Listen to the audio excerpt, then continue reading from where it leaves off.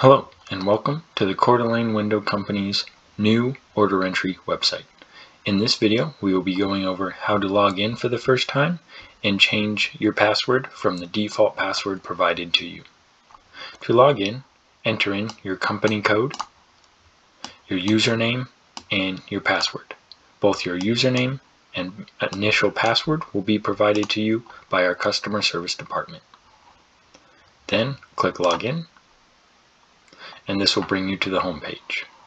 In the top right hand corner, click on your username and click change password. And this is where you will be able to enter in your new password. Please make sure to follow the requirements listed.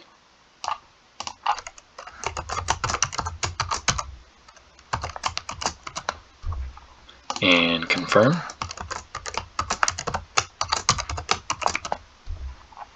And then click change. And now, if you are to log out and log back in,